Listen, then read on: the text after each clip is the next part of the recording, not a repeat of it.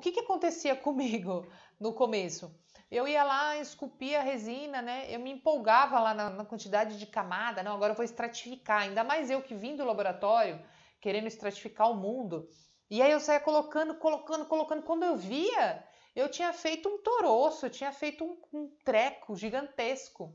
E aí o que, que acontecia com esse, com esse negócio que eu tinha feito? Eu ia ter que dar acabamento e remover tudo. Então, a toda a estratificação que eu tinha feito, quando eu tiro, eu vou para onde? Eu vou quase deixar o dente na dentina opaca de novo, né? E talvez corpo. Então, eu vou tirar tudo aquilo que eu fiz. E aí eu pensava assim, caramba, eu tenho, preciso controlar minha mão com a espátula, porque eu não adianta dar volume. O grande, a grande mágica da resina é você levantar a resina, assim também para as restaurações posteriores. É você levantar a resina esculpindo ela e deixando ela do jeito que você já quer antes de polimerizar, né? Não adianta sair polimerizando e depois dar acabamento. Quanto menos mexer, melhor.